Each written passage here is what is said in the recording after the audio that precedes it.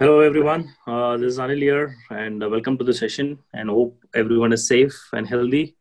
Um, just uh, make sure that um, to work out every day and be fit. This is the only way that we can fight this virus. We need a good immune to to fight this out, and also be more responsible, be safe. So, Rajesh. Hi guys, um, welcome again to all of all the participants and uh, really happy and a wonderful World uh, Design Day. Like, like Anil mentioned, uh, COVID-19 has been a blessing, I would say, in, in, in a lot, not many ways. Um, we have found that we have been more productive um, working from home. That's one of the plus points of COVID-19. It's a blessing in disguise.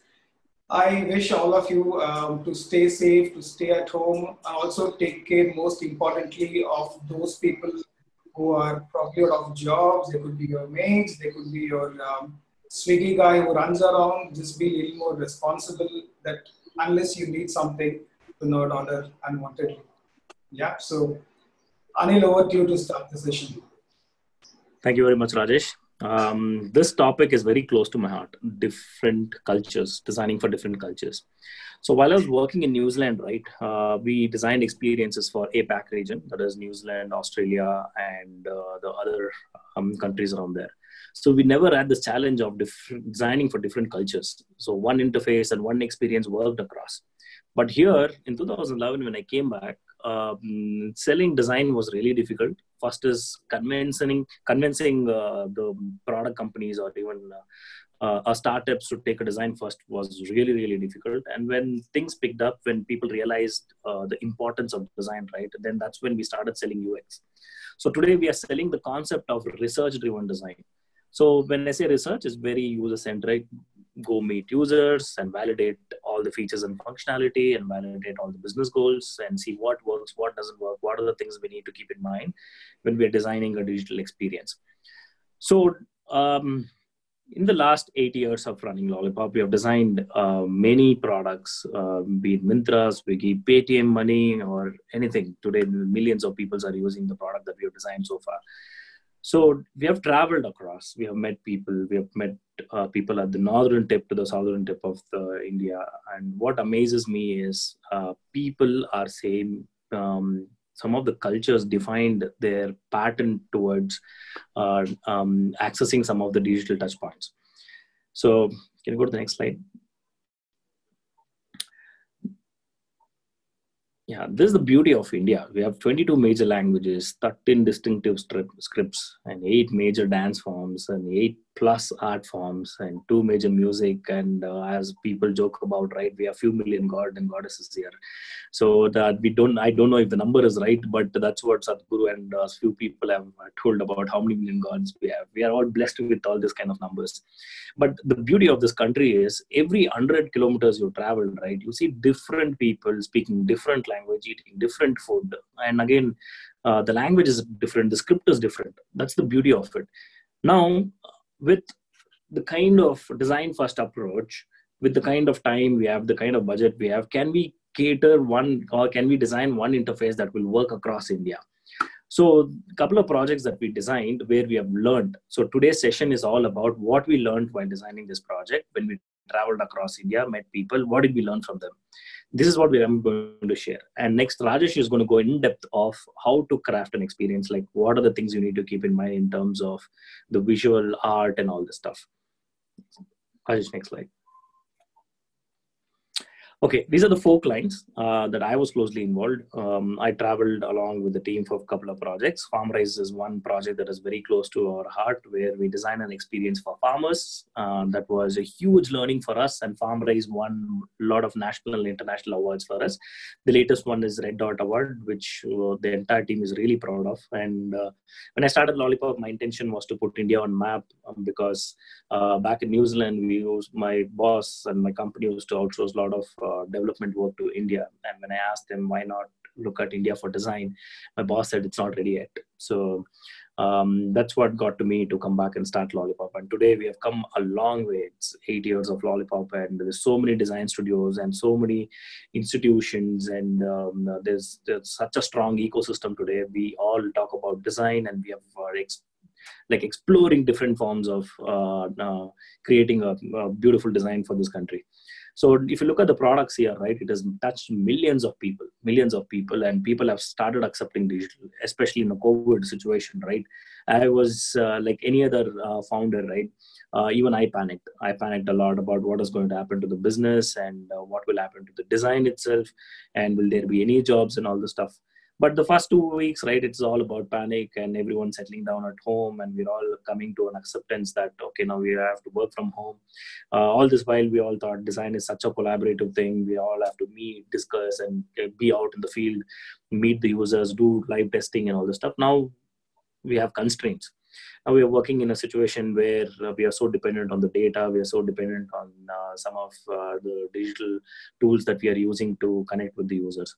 So the good news is um, there a lot of industries are going to benefit from this situation and these industries are going to reach out to design to craft a beautiful experience.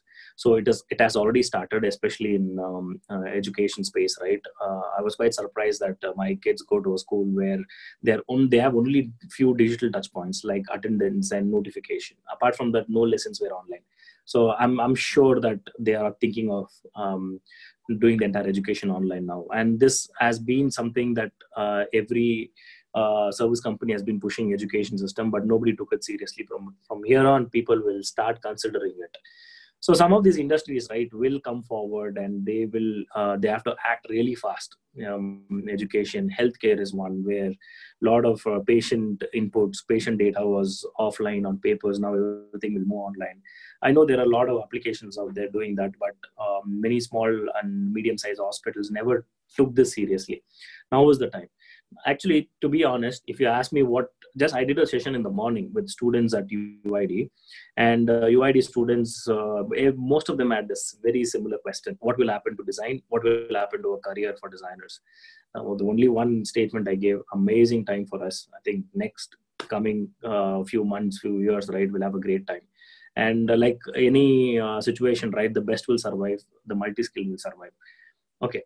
Anyways coming back to this learning from this project right? With farmrise we interviewed close to 140 people.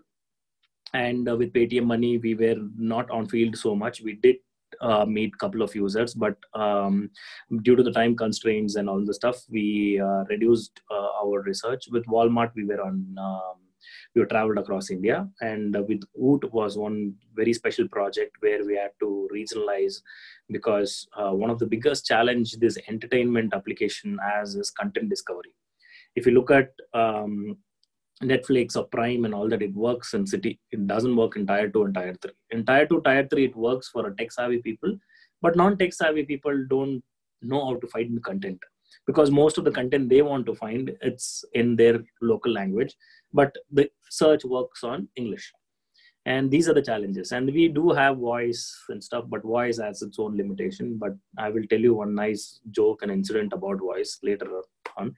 So these are the things. So with voot our challenge was to regionalize it regionalize it by uh, implementing um, uh, looking at uh, translation and transliteration and also studying about the culture to see what kind of content we should produce and what kind of graphics we should produce for this content.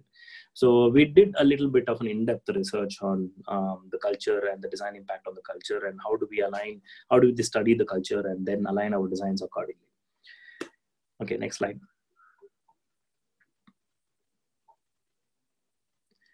so um, the first thing is we went back uh, there's always a learning right? Um, like uh, if you look at what design is today we have learned a lot of stuff from what design was in the past like poster design or a brochure and all this stuff.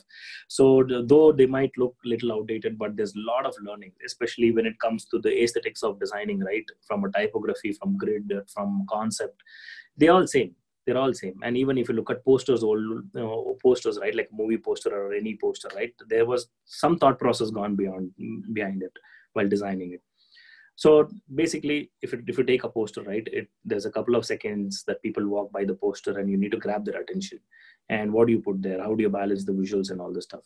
So we went back to see what is that we can learn from other medium so that we can bring those learning into our uh, digital platform and see how we can craft a great experience so one thing the, that amazes me is um, the ad industry. So Rajesh and myself, or I'll tell you a little bit of Rajesh and myself, and we both are classmates. We went to the same college, and he was in the ad world doing ads, and I was in the ad world doing digital. So I used to handle the Ogilvy and TBWA, and uh, Rajesh has created one of the best brands here in India, creating all these visuals that you see here. Okay, now going back to the ad world, right? Um, one brand that really amazes me is Kalyan. How they have got local celebrities to promote the product so that the local people feel that this brand is local. So when we did the research, a lot of people in, in Tamil Nadu felt that by looking at the first two celebrities, they felt that this brand belongs to their state and again, when you go back to the north, they felt that it belongs to their state, and even West Bengal uh, um, believe that it belongs to their state, and uh, they're similar. So there is a nice uh, strategy by um, that the Kalyan Jewelers put together to ensure that people feel that the brand is theirs. Exactly like Bata, right? The Bata shoes for a donkey's years, I believe that Bata was an Indian brand. It is not an Indian brand. Just because they made it 90 rupees, 90 paisa, or 99 rupees, right? We always feel there's 99 and 90 rupees, 95 paisa and all that. It is very Indian. And also Bata, we felt that Ta in the end had that Indianness to it. We always felt that it is an Indian brand, but it is not an Indian brand. So this Bata brand, wherever they go, they study the culture, they study the geography, and then they promote the brand. What an interesting learning, right? So from there to ads world. Today, if you look at any ad, be it as simple as Harpic, or uh, Kalyan Jewelers or anything, they are going deeper into understanding the culture, the state, the kind of people, what kind of background, what kind of who, which which is the celebrity to bring to evoke that emotion of owning the brand. So we learned a lot of stuff from that. So we collected um, um, samples of ads that worked wonders here in India, and also we went into the print medium, um, and uh, we also looked at the entertainment space. Next slide, Raj. So we looked at what is that in entertainment space that touched a lot of people's heart by bringing all the state together. So Chak De India had uh, this movie is so beautiful uh, that uh, the content, if you look at the content, right, uh, they bought um, uh, 16 players together from uh, 16 states and uh, everyone felt nice about it because uh, Shah Rukh Khan movies work about the, way it works because a lot of people die in South, right? They don't, they do not, uh, uh, especially in the tier two, tier three, though they don't understand Hindi, right? They watch for the celebrity. But this movie, I think it really touched their heart and everyone connected to the content.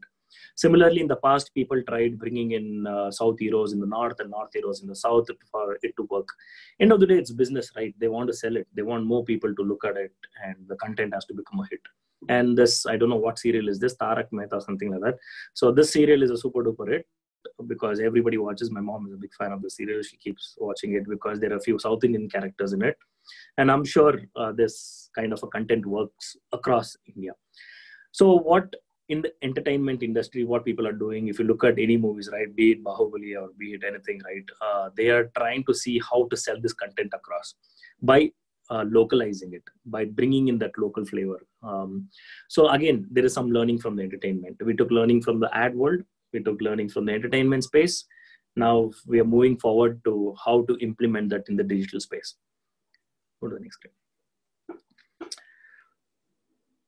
So uh, regarding uh, FarmRise, right? Um, FarmRise and it's an application that we built for uh, farmers here in India. So one of the challenges that we had uh, was um, the first question that uh, that uh, that came to our mind was which farmer in India has a smartphone, and how connected are they? Do they know to use a smartphone? Even if they know to use smarts to know to use smartphone, do they know how to download an application? These are the questions so when we got down to the field we understood that okay there are certain farmers who can't afford smartphone. There are farmers who can afford this smartphone and the technology are five acres and above.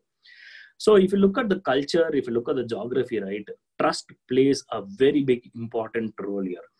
Um, uh, like when we're doing the study right we were looking at what is that first technology that farmers implemented in their farming so there's this person called uh, Raj, I think, Raj, Rajam or something like that. So he came up with a device where you plug it to your pump set, right? uh, farmers have this farmland where they have every day morning they have to let water inside their field. So what they do is farmers cycle all the way to their farmland, which is few kilometers, and turn on the pump set, and the water goes into the field. Turn it off and come back. So this guy came up with a small device which is connected to the GPS, which has a SIM card. All you have to do is from your whatever phone, uh, whether you have a smartphone or uh, you have a, a, pretty traditional phone, right? All you have to do is SMS water in, and the water goes inside the field, and what SMS water out, and the water stops. As simple as this.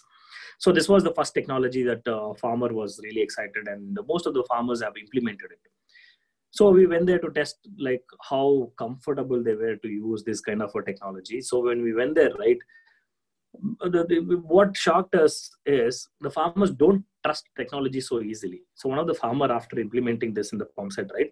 He was standing next to the pump set sending the message to see if the water is coming out and again switching off to see if it works. He does that every day. There's a trust factor. He doesn't do that at the comfort of his house. He still cycles all the way to the farmland. He messages to see if the water goes up he messages to see the water stops. Some of these behaviors right um, it is so different from state to state from culture to culture so the same kind of a thing if you go to punjab little more advanced farming because uh, that state is exposed to the America and Canada of the world, and people come back, and there's so much learning from there. And the farmers are, are ready to accept technology; they're exposed to it. So there, they are uh, open to new technology. They were like, okay, find out if this works, works, and uh, let's sit at home, chill out, send an SMS for the water in, water out, and all that. But when you come to the deep south, they were a little hesitant about using technology. So while doing the research, we met a couple of farmers, and a few farmers had um, a smartphone. And the most interesting part is they also had WhatsApp. Um, so some influencers helped them install WhatsApp and register on WhatsApp and all that. They showed how to use WhatsApp. Uh, the only thing in the last uh, one year or six months or two years of they using uh, WhatsApp, right? The only thing that they've done is every single day morning they receive message of God or jokes or some kind of uh, entertainment videos they watch that they forward that they've never ever sent any message any text message to anyone so these are the beauty of getting down to the field and understanding people so now uh, when we ask the farmer about why have you not sent a message and like how difficult is it for you and all that is it no i'm not comfortable sending messages i don't know the spelling and blah blah blah all the things that you find out during the research so what we did, we asked him to send a message. So the farmer tapped on the input area and the keyboard popped up. To get the keyboard down, to get the keyboard down, he restarted the phone. He didn't know how to get the keyboard down. So these are the interesting things. And this behavior change across. So if you go to Punjab, it's different. If you come to the Gujarat, it's different. When you come to this part of the world, it's different. So uh, some of these farmings, right, it is so embedded in the culture some of the learning from the farmings has come from the ancestors and these things are passed on so in between when you try to bring in new uh, anything new inside the farming right people are hesitant to accept it be it technology or be it uh, new pesticide or be it new way of doing it they're very hesitant. They think they're so associated farming with god they don't change god overnight. So they're so associated with god and all this stuff. Another interesting uh, factor is uh, now if you look at uh, while designing paytm money right uh, it's, about mutual funds trades and stock. So uh, if you look if you go towards the gujarat side right it is in their blood to to to, uh, uh, risk the money um, so people over there, that part of the world, they're like uh, it is in their culture to uh, to be an entrepreneur. Even if you look at their last names, it's all associated with the business they are doing, be it Topiwala, Screwwala, whatever it is. So um, it is so much associated with their uh, kind of work they do. Um, so uh, when to test an application like Paytm Money or anything to fin, to do with fintech, right, it was much easier there. So people understood uh, they were trading offline. Now they're trading online. Now from online they've come to know, mobile apps. So it was easy transition for them. So basically they were they themselves were asking easier way to uh, buy stocks or buy mutual funds and all that. The same thing if you come to the southern part of india some portion of southern part of india we are very service driven. We uh, we we do not risk anything with the money. We don't want to be entrepreneurs. Uh, we want to safeguard a job and education is more important here. And with education comes um, um, taking less risk and playing it safe. So here when we went to the tier 2 tier 3 um, um, towns right? Uh, people were not ready to take risk. They were like no i'm not investing through a digital platform. If i want to invest i'll take my cash walk to the bank and i'll put it in my savings. And the bank guy knows me very well and i trust that fellow that he's not doing anything with my money and they give me a challan and i bring that challan and i know for the fact that my money is safe. They do not trust digital so easily. So this has so much to do with the culture. It has so much to do with uh, the history and all this stuff. Now again um, can you go to the next slide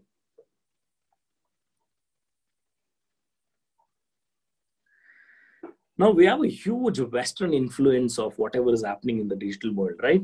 Uh, like if you look at um, some of the things that uh, we have seen on our interface or even offline or online world right? There's a massive influence of the western world. Um, i travel to china very often just three four months back i was there and i don't have any virus i'm very safe. But um, jokes apart um, but that part of the world right uh, they localize everything now if you look at mozilla firefox mozilla the international website is different from the chinese website. It's so different and everything they cater it so that it works in that region. And everything when i say everything uh, from website to mobile applications and uh, to uh, even the products right? They have they alter it so that it works. And the best part is they also alter the os the operating system of the phone. Android os is slightly altered to work in china because the character limitations and all the stuff, right, which Rajesh is going to talk about. So we need to be extremely careful about uh, what kind of uh, assets or what kind of uh, influence that we have from the Western world, especially uh, digital designers, UI UX designers, right? Sometimes we get really carried away with all the beautiful visuals that we come across on Dribbble and Behance, and we try to bring that here. We build it, and client is extremely happy with the beautiful looking interface. When suddenly the business doesn't work, it doesn't work in a tier two, tier three. People find it like, what is this? Uh, somewhere the tech and the design world appreciates, but when it goes to the real user, no one understands what it is.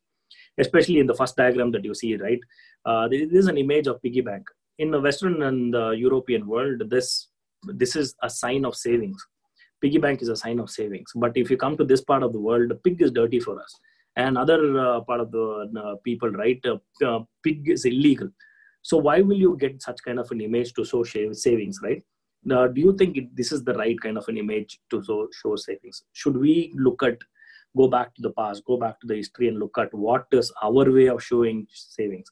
Is there any other way of uh, presenting a savings? So a lot of bank applications I've seen that they use such kind of an icon. They use the, such kind of a imagery to show savings to Indian. We have to be extremely cautious about what in what image and what kind of visuals we put and what does this what kind of emotion does this evoke for users.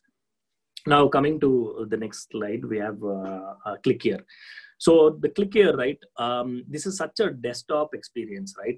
Now uh, desktop websites had all this click here um, register now and all this stuff so click here is basically a call to action where you use a mouse to click on it um, so now uh, on a phone, click here doesn't work. It really doesn't work. And now keep in mind, in India, uh, this migration that is happening, right? The acceptance of uh, smartphones, it's increasing by 68 or 70%, something like that. So if you look at the amount of uh, people here in India who's moving to smartphone, they never experienced desktop. They never used a mouse. They never used any of the things that we use on a daily basis. They have straight away come to the mobile. On mobile using click here on mobile giving a desktop experience it really doesn't work. So people get really scared when they see such things. So we'll have to localize the content. So click here has to be localized. Click here should be more uh, humanized. And uh, these are the things that we need to keep in mind. Then again when you come to the devices handset right i see a lot of design so beautiful so um, it has all the beautiful micro interactions animations and all this stuff. But we forget that uh, here in india we still have handset and devices which is one 1 gb ram or even lower than that. The displays are really small and they have multiple applications opened. And uh, when you have so many things happening in the background right how will your animation work? Does it animate or does it flow so smooth as what you visualized it to be. It doesn't. So we need to keep in mind that from a traditional phone to a smartphone the migration has happened but people didn't go straight to the iphones and uh, the nexus 5 or the latest phones. So they have come to the middle path where the phones are good the cameras are okay but the rams are not that okay. They don't have space. They were if you look at um, uh, one of the reason why people are not able to install applications because they don't have space in their phone. Um, because they have overloaded content. They don't know how to delete uh, photographs. They don't know how to delete uh, the media things that come from the whatsapp and all that. Because of that they're running out of the space. And again now looking at uh, some of the western influence if you look at design right um, they are we are all experimenting with design the entire design ecosystem right? Uh, we want something new. So everyone is striving to uh, define what is next. So what started with skeuomorphic right? Um, when the mobile phones were launched skeuomorphic was really big. Skeuomorphic stands for real world examples. Um, iphone calculator looked like real calculator on the mobile app. Um, and uh, even uh, your contact book looked real on the mobile app. So it had that book and stitches and the buttons had the press and all that. Due to technology due to impl- technology challenges and the implementation challenges right we simplified it. We designers together got to um, um, as a community we simplified skeuomorphic to a flat design. That was a story between uh, skeuomorphic and flat design. Skeuomorphic was really difficult to implement flat design became easy. Flat design the entire design elements came within the code. Here this was completely graphic supported. So when we came to flat design uh, the first uh, people who accepted flat design was all tech savvy people. They understood. But the when the actual test was done the people non tech savvy people didn't understand what it was. They couldn't find out the difference between a box and a call to action. So these are the challenges. From there we move to material. From material to we have moved we are constantly changing the design so that our interface starts looking beautiful. But somewhere people are stuck to the flat design still. So we have gone too uh, far and we are now experimenting something new with the design. So this kind of an experiment will cost the business. For us designers it's great. We love these kind of uh, challenges and we love to come up with new new design but when a product is aimed at uh, when the product's target market is across india right uh, new design new look and feel anything new right it has to be tested. We have to test and see what is the impact on the business. So um, as simple as this uh, so when um, amazon started right they had this yellow color uh, in the background. This was a story that i came across on the internet and a lot of americans who used the website with yellow in the background. This was those dial-up days and um, and uh, the, the, then amazon realized that it's not good to have such a bright yellow in the background so they removed it. As soon as they removed it right uh, amazon started receiving a lot of messages from people saying that the website is not working. Something is wrong. Amazon is not loading. So they started writing handwritten letters to amazon saying that i don't think so. Amazon is same. Amazon has changed. So they put back the yellow overnight you can't do such changes. They put back the yellow and they wrote a beautiful script where in the next three months the yellow slowly faded off. It came back to white and nobody realized it. These are the beautiful experiments that people did. They used the psychology here to um, update humans with new learnings. So that's where design comes handy. So that's where research research and all that uh, all those things comes handy. So farmrise we design keeping in mind that um, farmers uh, cannot input data. So whatever it is, the entire application has to be on the tap, keep tapping it and keep consuming the content. Now, if we have to introduce something new, we'll have to go back and see what is the impact on the business. So some of these projects has given us a great insights about how um, things work work across India. So uh, these are the some some few few things that we have learned, and uh, now over to Rajesh, and Rajesh is going to talk in depth about uh, our culture, our fine art, and how do we bring some of those aesthetics to work across India, and uh, why we have taken only India as an example because we have designed experiences for Middle East, for Arabic and all that, but um, we have not seen a, a success rate as big as India. In India, the products that we have designed, right, we have seen it work across uh, the cities, towns, and villages. So we are yet to define, uh, design an experience in Middle East. We have not done anything in Chinese. So maybe once we have such projects, right, we'll share designing for cultures across the globe. Now, this is specific to India. So over to you, Rajesh. Thank you so much. And uh, I'm still online and I'll uh, answer all your questions after Rajesh's presentation. Thank you very much. Thank you, Anil. I hope everybody can hear me. Anil, you can hear me, right? Okay. Yes, I can hear you, Rajesh. It's clear. Okay, fine. So, um, participants, again, welcome back uh, to the second part of the session. So, I'm going to talk about how culture and visual arts have influenced uh, digital space. If you look at design, right, the history of it, it's not that you know you have you have um, fine arts as separate stuff and digital as separate stuff. There are some restrictions, there are some constraints that you have to work within.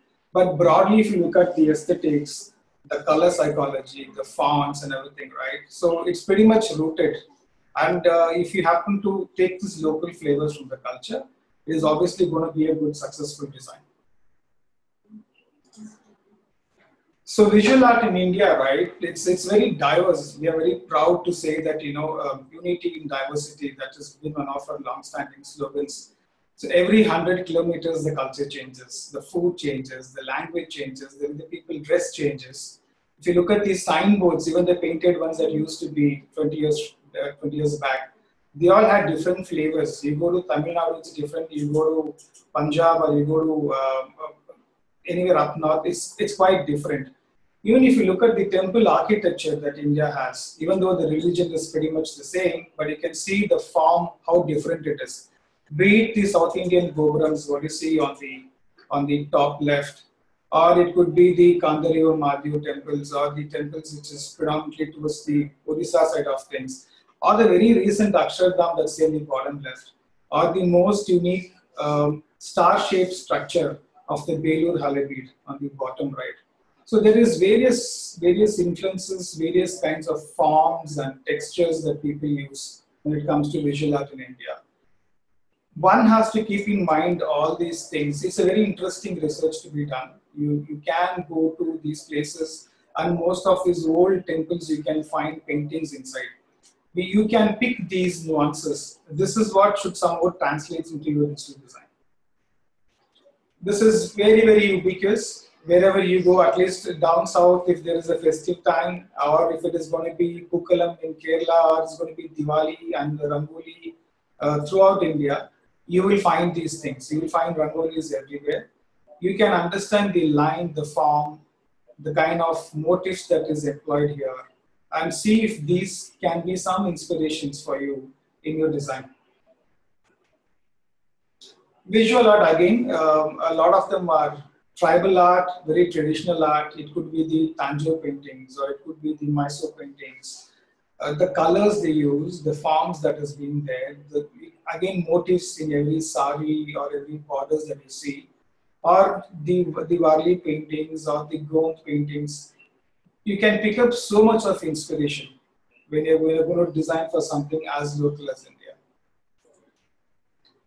So design right, it should you should always keep in mind that you're designing it for people. At the end of the day, it's going to be the user who's going to interact with the screen, right? Um, we could have our methodologies, we could have our psychologies and aesthetics and etc. etc. They're all focused for only one purpose. The purpose is to design for people and make sure whatever you design is easy to consume and easy to interact with. That is the core of uh, the design.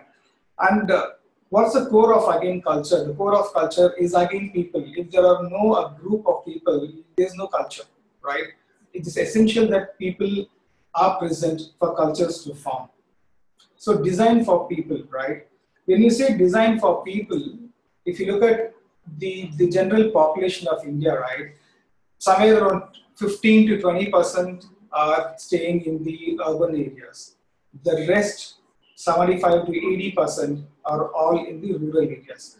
Now, when we are designing until now, though uh, though technology is, is very predominant in the urban, sorry, in the rural, sorry, in the urban areas, what happens is business is spread now. Now, the penetration of smartphone users has gone to tier two. I don't see a village where there are there are no smartphones. There are smartphone users. Data, yes, still debatable. It may not be that fast as, as fast as in the urban areas, but there is a reach. If there is a reach where India will become the highest highest consumer of, of digital data, right? And video consumption is going to go up by 72% from, from wherever it is. Right now, I think by 2020, it was predicted back two years back that uh, India will have a 72% usage in terms of video data consumption. Now, if this being the case, the consumption is already spread into the rural parts of India. Now, if we do not enable these people to use the digital platforms, then your penetration and your business is going to suffer. So you will have to design it for those people who are in the rural areas also, right? Now, what products we design, that's a debatable question, but we need to include them in this ecosystem and when we, are including those people into this ecosystem, right, culture plays a lot of importance.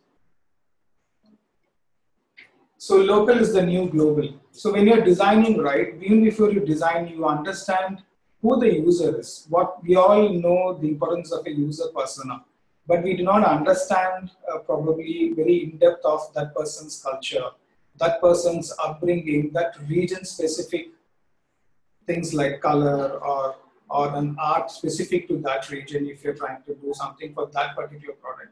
For example, Anil spoke about uh, FarmRise. It's very, very important to understand what their culture is, how their day-to-day life is, right?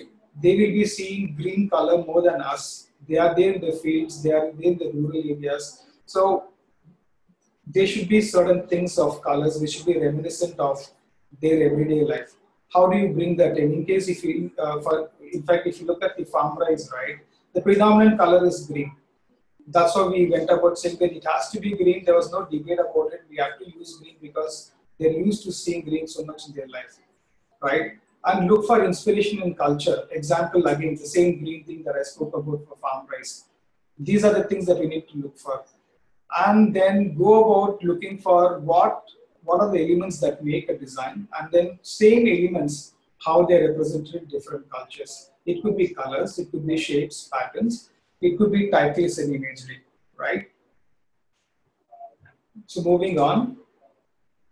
So what are the visual elements that I will be uh, highlighting upon and giving you a few tips so that the, design comes out the way it is intended to be for a particular culture or a region. So uh, though it is not the domain of a designer language and translation should be always borne in mind because they take considerable amount of screen space, right? If there are no words, if just images are there, then I don't think so. Uh, you're to communicate that easily. You will have to have text. Text definitely communicates. When that is the case, it is very important that you take care of what the language that you're designing for and how translation works there. I'll tell you in detail about what uh, points to look for in, in language and translation in coming slides. Second is typography and scripts. Of course, we all know the importance of typography and scripts. Let's imagine if you're doing for Japan or Chinese, the entire, the entire typography style changes there. So it, it's again a very important component of design. Color psychology is very important, um, though there is there is a universality of usage of color in certain in certain particular cultures we don't we have to avoid a certain certain colors again those examples i will take you through um, how you can include the local flavor patterns the motifs the icons and the illustrations all this all these are very important to look at the traditional art that that they have imagery and lifestyle is another important aspect because i think um, imagery is is is nothing but a moment frozen and you have to be very, very careful what you're trying to show. What could be just a passing moment, now it's frozen and, and it's as an image. So be very careful when what you're trying to depict and is it is it suitable for that region or not. And if you take all the above uh, pieces, all the above elements, and then you begin to develop your layout and how you compose things. So language and translation, okay? one of the things that you know whenever uh, whenever there is any kind of presentation i come from a print background so whenever a client gives uh, uh, let's say a brochure design for example what the first thing I do was I take that page which has got too much of content, too much of characters and words and paragraphs. I take that, let's say it's an eight page brochure. I take maybe the sixth page, which has got the most of content and design that page first. Because I know the other pages are going to be based on this. I can have fancy pages in the beginning, but as I develop the design, I come to the sixth page when there is so much content, my design will break. So it's very important to understand which is your screen where there could be more content, right? And when there's a, more, lot of content there, you should make sure you try and use as least a number of characters as possible. Why? Because I think every language, every script has its own width of characters, its own height of characters. We should be aware of that. Then we must be aware of different scripts that uh, we are trying to localize. For example, if you look at uh, Kannada in, in, in India, right, you have those small things that's hang below the main characters called Urtu. So it is it is something which is hanging. If you look at um, um, Hindi, you have the matras that's coming up, right? Which is not which is not at all a part of uh, language in English, but in India it is. So we need to we need to understand the x height and the line height of each of the uh, each of the uh, uh language characters. How you how you go about doing it? I have a small tip which I frequently use, and there is also translations uh, which could be longer. In in a particular language, you might say something you want to convey using say four words. In another language, it could become six or seven words. So then again, the space goes for a toss. So here are a few examples. I gave you an example of, you know, design for least number of characters and keep what you want to communicate very, very crisp. If you look here, if you see this topmost field, you have a thing which says, please type your name here, right? The same thing in German is longer, whereas when it comes to Hindi, it is much shorter. And even I've kept the font size same, but the font size of Hindi is much smaller. We need to keep these things in mind. So how do I make sure that when I design that this number of characters don't extend beyond the input box that is there. So let's say if I rewrite this, please type your name here as just your name. And then you see what happens in Germany and you see what happens in, in Hindi.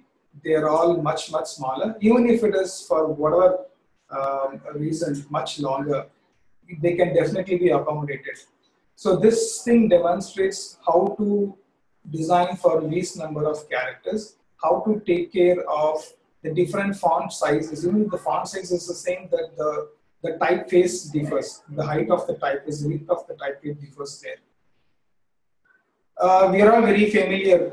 Those iPhone users who are using are very familiar with the bottom screen. It's when you start the iPhone for the first time or you install the iOS for the first time you can always see these words, right? Hello, hola, bonjour, and ni hao. The reason I'm showing this is look at the number of characters used in, in different languages. And even if you um, transliterate the last one, which is in which is in China, it's made of two words. So hello is one word elsewhere, maybe it is in two words in China. So we need to accommodate all this in mind. We should we should think about all these factors when we are designing with type for various cultures. So moving on, um, this is something which, which, which is good because it makes um, a form filling very conversational. And it is, so it's really easy, it's not too mutate, right? So do not place UI elements within text. For example, if there is a line which says, I would like to transfer, and there's an input box, and then the sentence continues says to my friend, right? I would like to transfer rupees 100 to my friend. If I have to translate this in Tamil, right, it's entirely different the order of words is completely reversed. Here, friend comes first in Tamil and then it goes on to continue. So the text box moves. This is a nightmare for a developer and, and nobody knows if it will, it will suit every scenario, right? It is best as a designer to avoid this scenario altogether. What would you want to do? Change the entire way you address things. Keep it very simple. Don't make it too fancy. It may be very simple to say how much would you like to transfer to your friend, but it works. It works across any language. It's very simple here. Text here is on the left the input field is on the right. So this takes care of any scenario. So basically you're, you're in a way designing for scalability in different cultures, which is important. Keep paragraph text scalable. This is again um, something we need to keep in mind. Imagine you're doing, um, you're, having a mobile screen where you're describing, let's say, uh, food uh, or some kind of a review about a food. We have to make sure in our design there is a scalable space at the bottom. So if you look at it, there is this has got enough of scalable space at the bottom. I have taken English at 19 points, Tamil at 19 points, again German at 19 points. And we can clearly see the different heights of these paragraph texts. So keep in mind that you provide for scalability in your, in your design, especially when it comes to typography. Moving on, let's move on to um, how color plays an important role. There is, there is no doubt um, color is one of the most integral part of any design okay? Uh, do a research and try and understand different cultures have different meanings for colors right? What is red in one particular land is a different meaning in another part of the world. So understand what the different cultures and colors relate to. There are certain universal uh, colors like for red for danger it is accepted universally that it is red for danger. Yellow for caution green for acceptance uh, okay or submit or, or things like that. And also be, uh, be aware of the negative uh, colors and cultures. For example, generally in, in India, right, I've come across so many designers, though, though black is one of my favorite colors, uh, when I try to use black in any of the logos or any branding, immediately it, it, it's good. People say, no, no, no, it's a, it's a bad omen to have black as my brand color, and people stay off generally in India. So understand what are negative colors in the culture, what do they represent, and how to avoid using them. Okay. And colors have emotional value. Um, there is there is there is a global understanding of of uh, color and uh, equating the color to an emotion, but there, there is again difference there. We need to understand um, that difference that it need not be the same thing for different uh, different countries and cultures. So here, if you look at it, uh, I've taken red as a, as a color, for example. If you look at the Western world, if you look at the, um, uh, the, the, communist countries and stuff like that, right? Red means revolt, it means anger or danger, right? But when you look at um, the, the, the Chinese side of things, their culture, red means positivity, it means prosperity, it means happiness. So if you just blindly type Chinese New Year in Google and do an image search, you will find a lot of images in red. A lot of creatives are in red.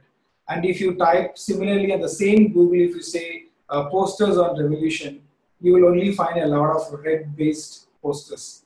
So this is the difference between one color meaning two different things in two different cultures. So we need to be aware of this. We need to be aware in our usage of colors. So I spoke about the universality of colors. Again, green is something which is which is positive, which is acceptance, which is okay. It could be just it is used predominantly for submit and yes, and people understand. Irrespective of languages and culture, people understand that you know these are universal colors. Red is for cancel, no, you know, to reject or error messages, right? And gray has been used as a neutral color for being inactive or uh, yeah, so inactive states. So this is, there is also uh, this universality of colors we need to understand as we design and make sure we don't um, replace these colors for something else. You can't have a purple submit or something which will not really make sense. So be very careful about not uh, trying to reinvent design when some things are very given. So if you look at how colors uh, influence design, right, the, the uh, going back to um, an old design and then let's come back to a digital space, how things work. So if you look at this poster, right, on the on the left, I have two small pieces here with, which are pretty old and this one is a recent one, but the one above the poster here is an ancient old um, retro style poster And I picked colors and forms from here and implemented in a screen for uh, online uh, food uh, application, something like Swiggy. So you can see how uh, a particular culture's form and color influence even the digital face today, right? If you look at this on the right side, I have the same food application but designed for Indian market. Now, if you look at Indian market, let's look at the vegetables, mostly green. And let's look at India is known for spices. You look at the spice here and then pick colors from these two images and then design it. And the motif behind. Everything looks Indian. This is very Chinese looking, this is very Indian looking. But the platform is the same, the same food application, right? Food delivery application. So this is how you look at inspirations for uh, in, in local um, culture. So if, I, if I go by this example, uh, nature influences a lot. Nature influences a lot to do with some, some particular region's culture. It has got to do with their, in, in the case of India, it is the spices, it is the kind of vegetables we have. Somehow these, these things have found a way into our culture. Moving on, we'll talk about typography and script. So to understand how much space, I have told you that you can use Google Translation. I will show you the, the what I've done here the next screen. And look for characters that are unique in a language, yes, and choose fonts which is web optimized and browser friendly. This is very important when you're designing for different cultures. Make sure they, the, they do have fonts, but many of them are not really web optimized. So we need to be very uh, sure to pick web optimized and browser friendly fonts um, Google Fonts is a good resource where they have tested all this stuff. So, and they have, they have statistics of that particular uh, font. So then there is no chance of going wrong. Uh, when designing for multi-language, also do look for what fonts will support. For example, um, um, Poppins, right, in Google Font has has Devanagari, Hindi script, also English script. The beauty is those scripts match the way they appear, look and feel they match. So make sure that even uh, when you're choosing a set of fonts and you're going for a localization, other language fonts are matching to your parent or primary font. So this is what I uh, generally do when it comes to accommodating a particular uh, text, right? Now, if you see on the left, this is this is an English English text, right? It takes this much of space in the same font size and in Hindi it takes this much of space, right? So now I can understand that you know when I'm designing uh, for a, for a for an application where I'm giving um, a toggle for language, I can either choose my language to be English or Hindi. Then I will understand how much content I can fill. As a designer, I can tell the content writer that this is the space I have, this is the real estate I have, and this particular exercise will help you. Okay. And I mentioned about certain characters like this small swoosh here and this piece here. This is very unique to uh, very unique to Kannada. So you'll have to make sure the leading that you provide is sufficient enough to accommodate this. Again, very specific to a language, but I think it's it is the designer's responsibility to consider these nuances. These are these are pretty much uh, guidelines that every every language will have and there are just a few, about five to six that you need to look for. But it is very important that you look for.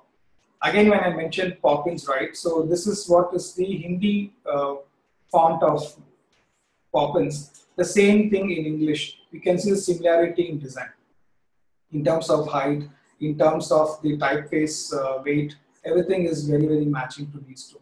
So make sure when you are designing for multi-language applications, you choose a font which has got enough languages. In India, at least the metro, uh, predominantly all the languages of the metro should be present in that.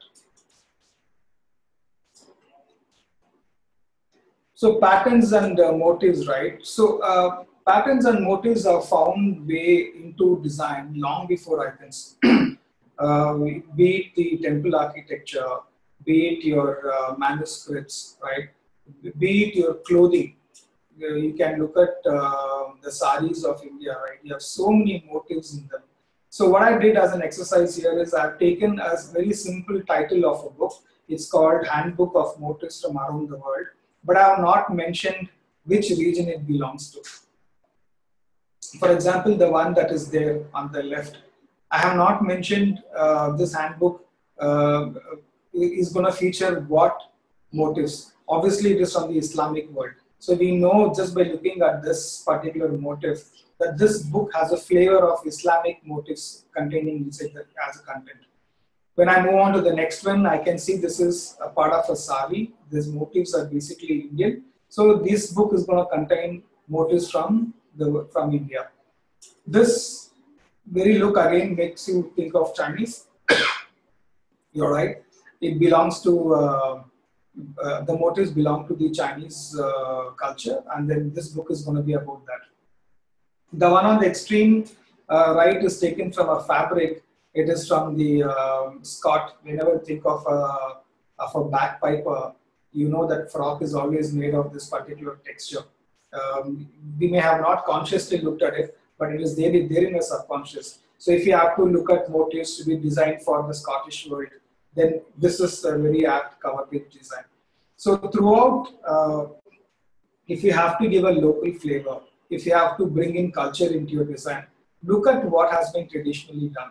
And the religious art is one of the uh, primary source that we can look at for inspiration. There are so many um, uh, art that is being uh, done through religious uh, activities. So that is another rich source of inspiration for all the motives. So this motifs and patterns, right? These things can be incorporated when we are designing icons and illustrations. We can pick inspiration from here and craft our icons and illustrations with these kind of nuances picked.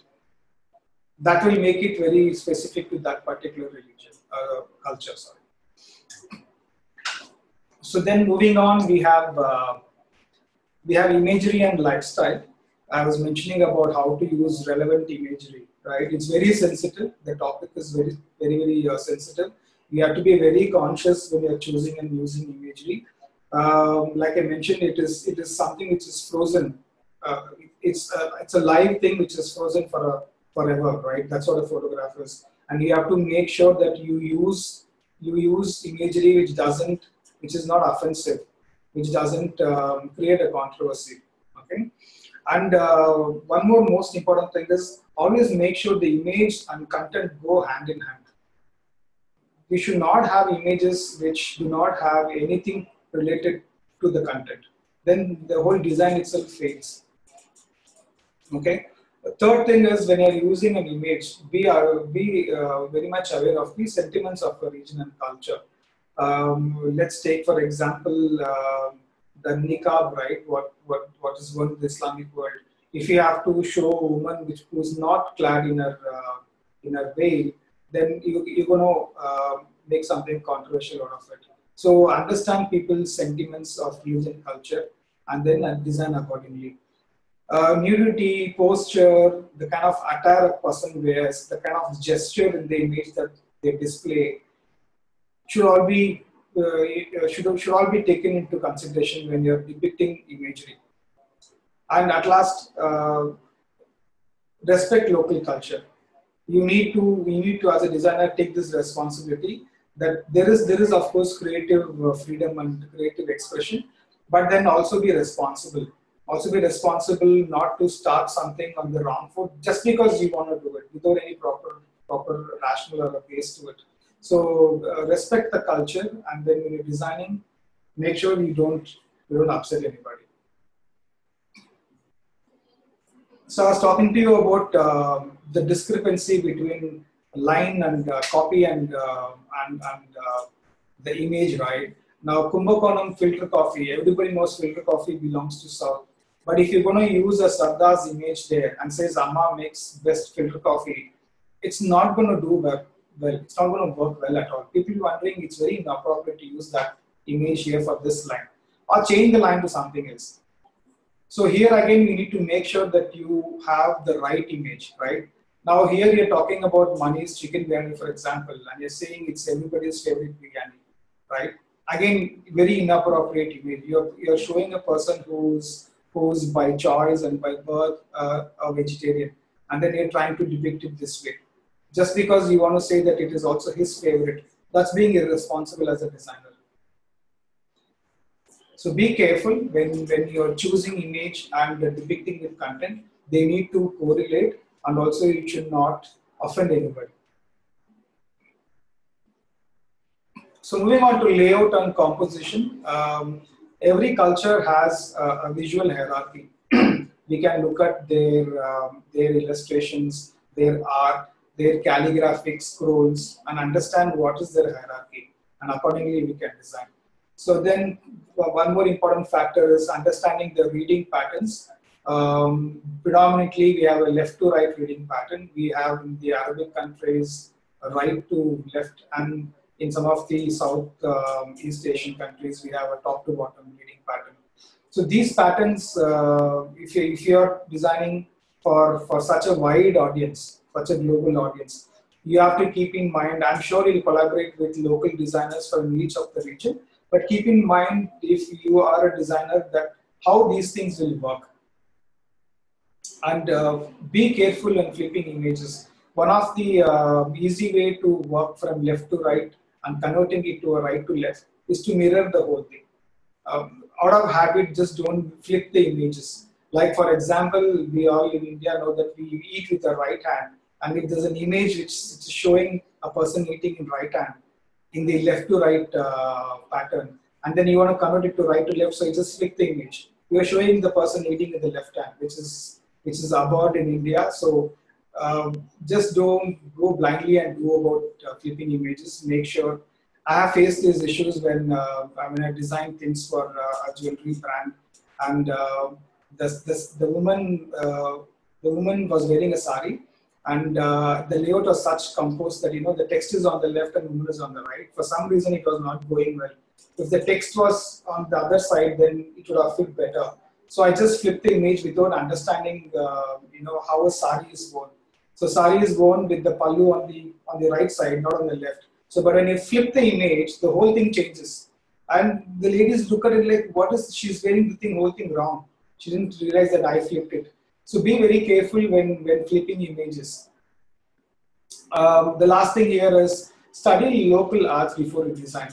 It's very exciting. It's really exciting. I am a person who loves to go into history and read about stuff and read about uh, history of design, how it came about, it's always a revolt if you look at the, the erstwhile uh, uh, the, the, designs that, that is there. They are always being born out of a revolt because of religious unrest and stuff like that. There always been a very revolting reason for designs to come up. So study all the local arts. Uh, look at what what is the design comprising. It makes your job very easy. It's so easy after that to make a design which will connect to those locals you're designing for. So some of the elements that I mentioned, right, top to bottom um, and um, uh, right to left orientation. These are two screens for a mobile application. One obviously belongs to Southeastern, uh, Southeast Asian country. The other belongs to the Middle East. So, but you see how design has been adapted, how the whole gesture changes. Right to left, sorry, left to right swipe is now right to left.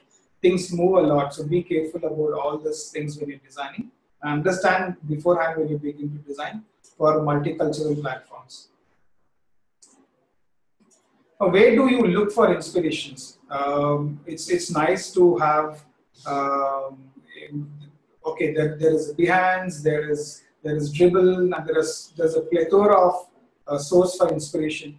But when it comes to designing for local uh, groups of people or, or, or, an application which is pretty local, let's say FarmRise, pretty much to the uh, farmer community. Why will anybody in the urban world use farmers? It's purely for them. so in those kind of situations, how do you go about looking? Where do you look for inspirations?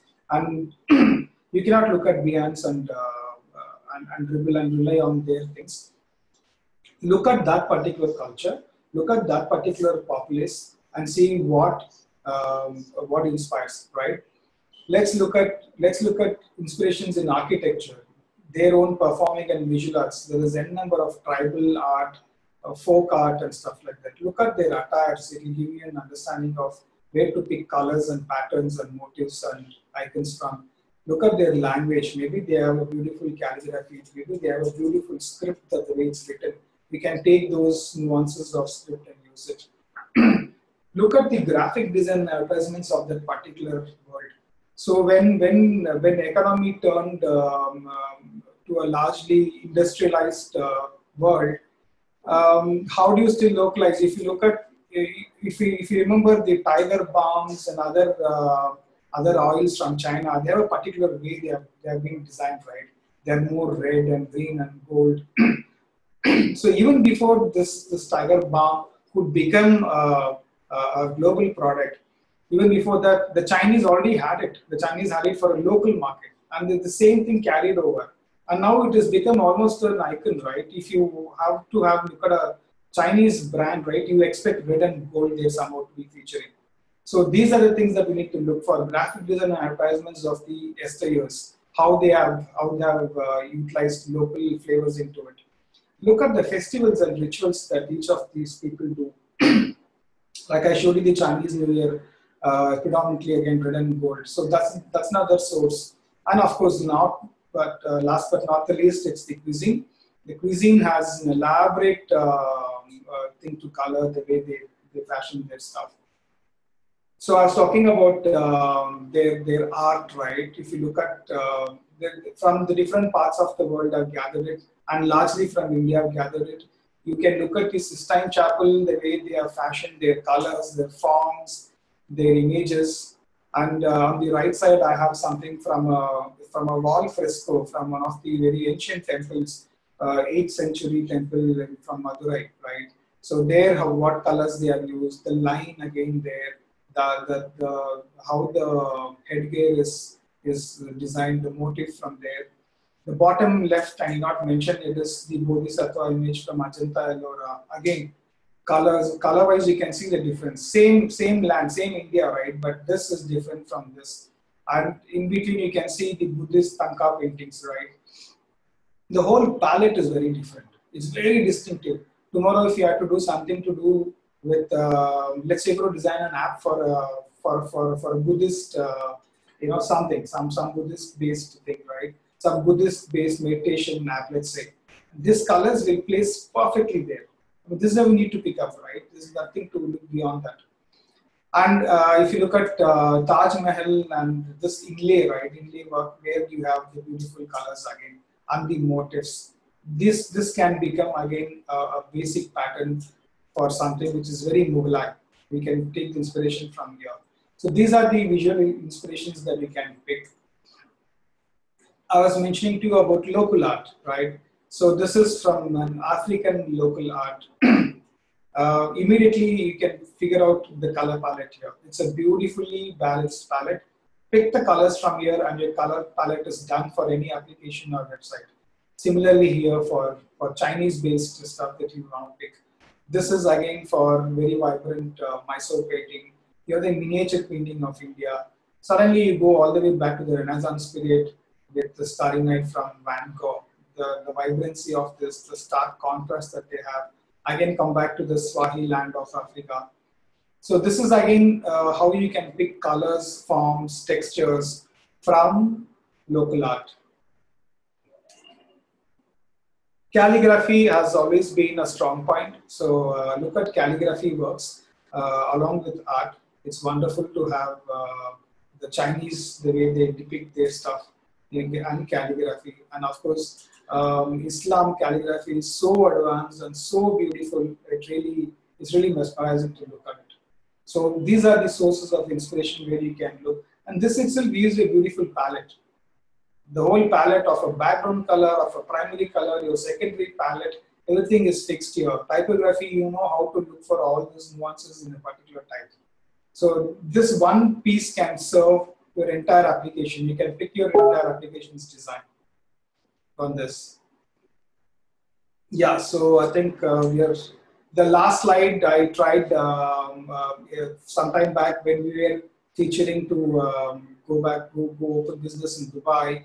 Uh, we are exploring how Lollypop can be can be depicted in a local flavor. So I designed this uh, fashioned on a particular Arabic font, but it reads in English Lollypop. So that's it, folks. Um, points to take out do your research, understand your user, get to the local cultures, and um, and and see a lot of source of inspiration for design. Pick them up and then come and uh, design your stuff.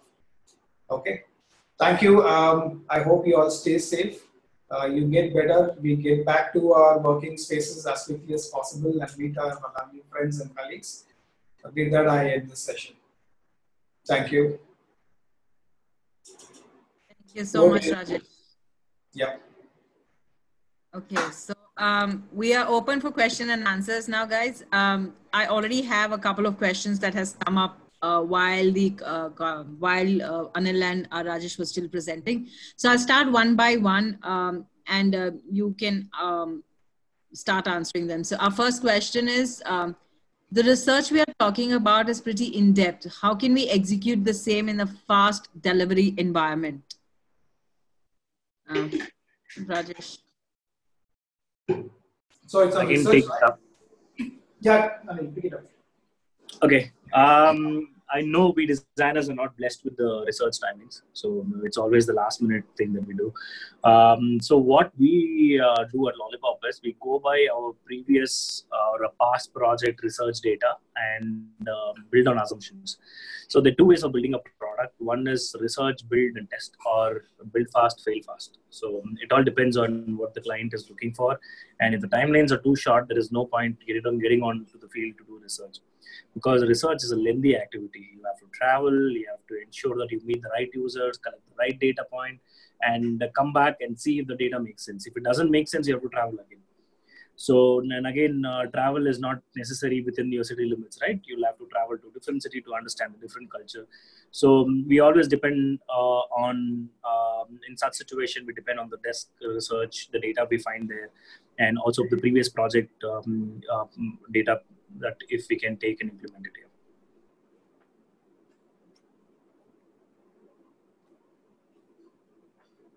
Okay, yeah, next thank question. Um, Utkarsh, I hope this answers your uh, question. Um, our next question is How do you go about when you found out that farmers from different cultures have different outlook? I have a question along the same lines. When researching on smart education, student from rural area will have a different outlook on education than a person say from an urban area, maybe with relatives in the West. How do you differentiate?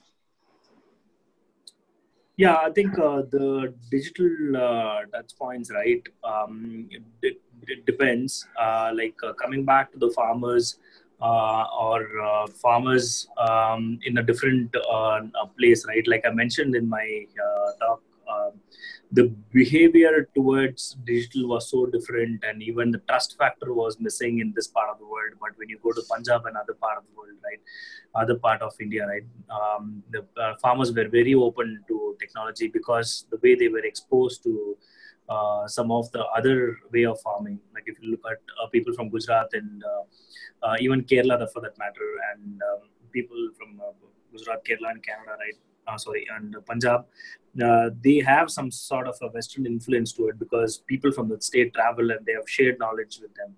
But when it comes to this side of the world, right, that's um, uh, people accepting technology is still difficult. So uh, when we define a scope, right, um, normally it's uh, it's the business who uh, dictates some of the features and functionalities. But through research, we tell them what works and what doesn't work. No, with FarmRise, the initial uh, scope was to bring in all GPS and extreme technology and stuff. So we made it very clear that it's not going to work in the first MVP. So um, we'll have to go um, with a very minimal feature list and then test it out to see whether it works and then improvise on it. Exactly the same approach that Facebook did. Um, very first thing they launched was like and then share. They tested like and share, and then they got other um, you know, features and functionality inside. So with education, um, the interesting part of education at this point is uh, there is there'll be no rural or there'll be no tier two, tier three. Um, so now, now time has come that uh, everyone has to accept um, um, education on online.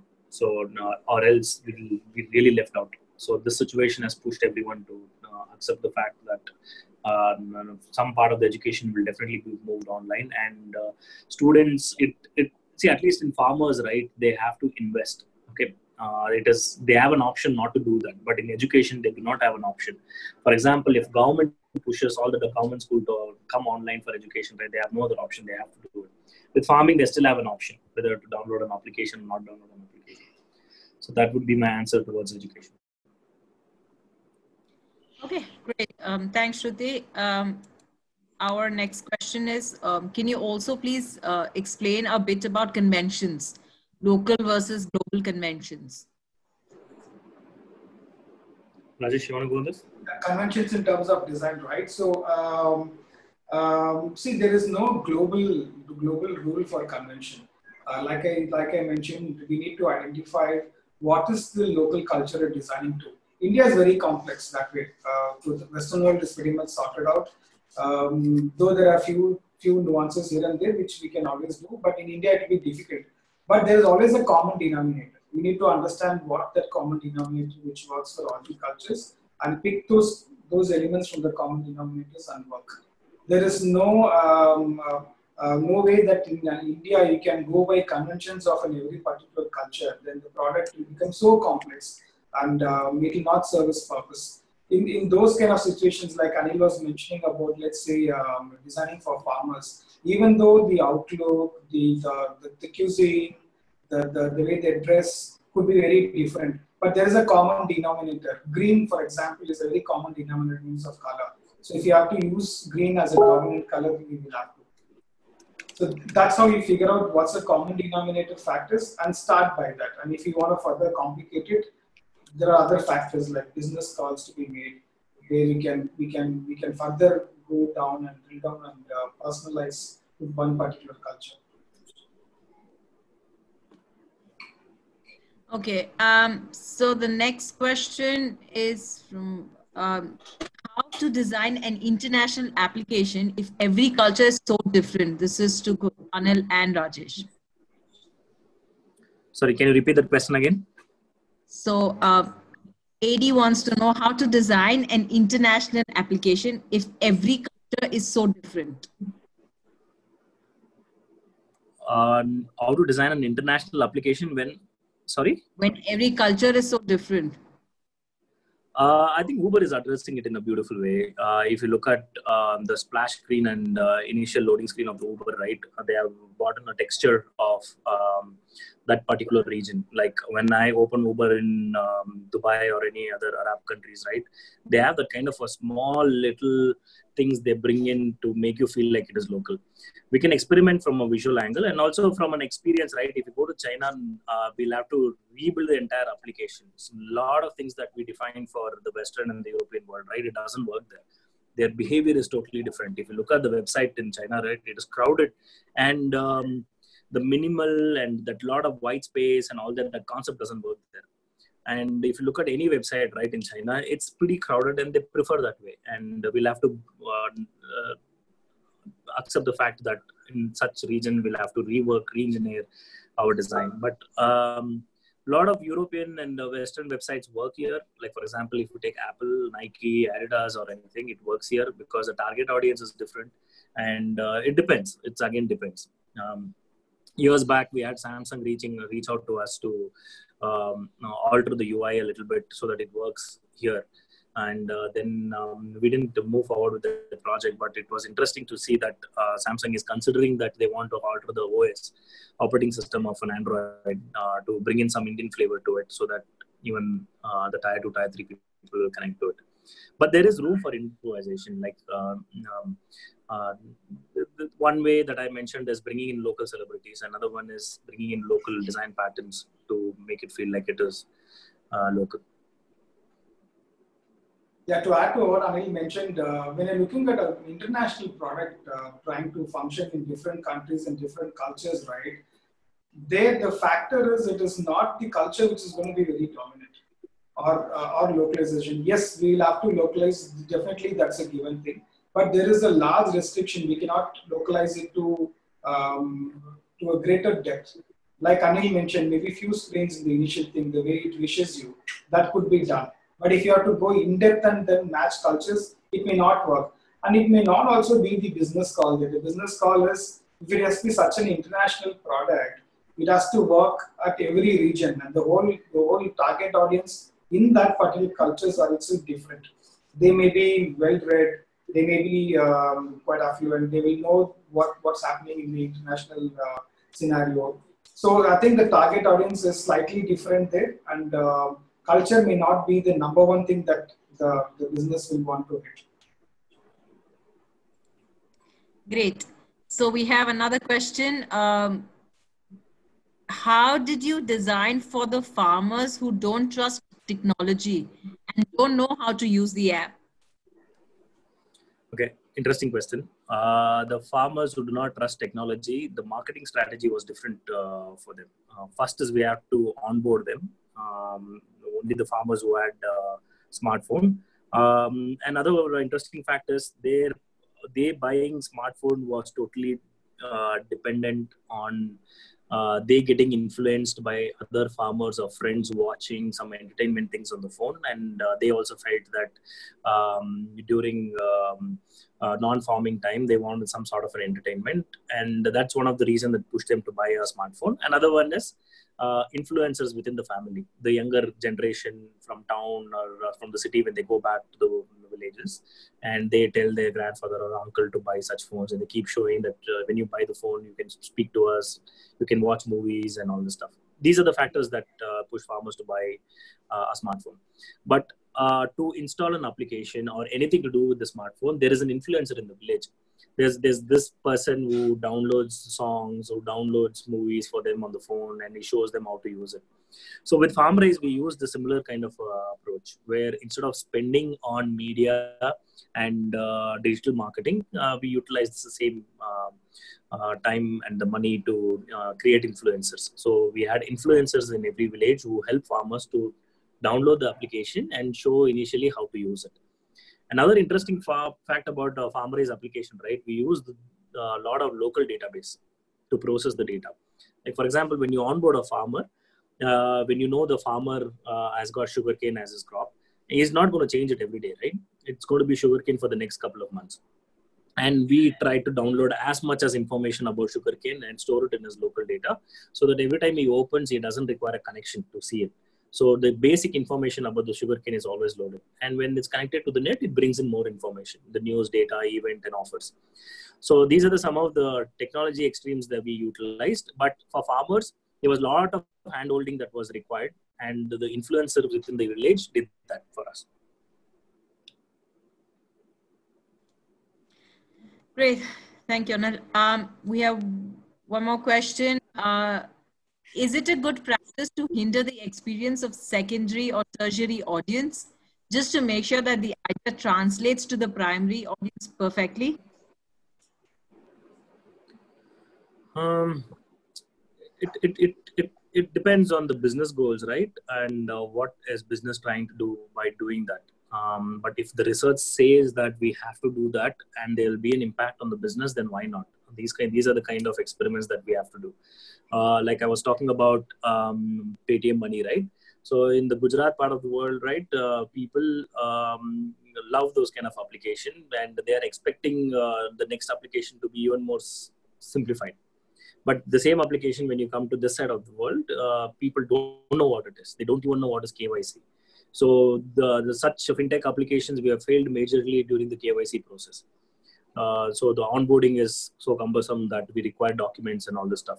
So we definitely require to tweak based on the audience. Like if you go to tier two, tier three, we'll have to make some sort of a tweaking over there for those kind of audience to um, accept it and use it seamlessly but again it uh, totally depends on whether the business is ready to take that um, end of the day today business today design uh, we'll have to give an roi right? Like uh, design is not about beautification. It's about bringing um, you know, the revenues to the business and increasing uh, the user base right?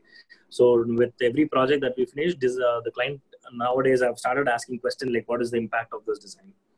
So if we have to alter the ui based on the region right? Then we'll have to submit a report of what is that impact on the business by doing it.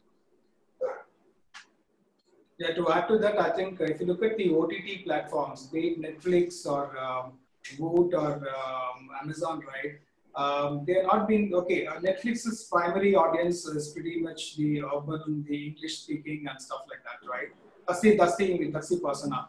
But if they want to have a larger base of viewership, they need to look at these secondary audiences. What did they do, or what they are still yet to do? What did they do right now? They started having subtitles in local languages. They started promoting uh, regional uh, language movies and stuff like that. So there is an audience, there is an audience, uh, and there is a design that needs to cater to secondary and tertiary if the business has to expand. Have reached a saturation um, um, because they don't have any local content. Like for example, if you look at all the serials, the soap operas of, um, of, of India, um, Voot has it, TV has it, Netflix doesn't have anything local. So I think it's important we need to uh, have design which is scalable to secondary and tertiary.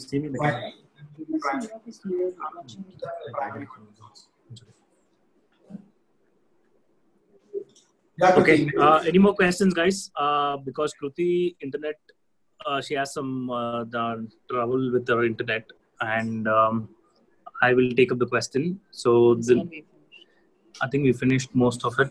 Yeah, we finished most of the questions here. Um, okay, so cool.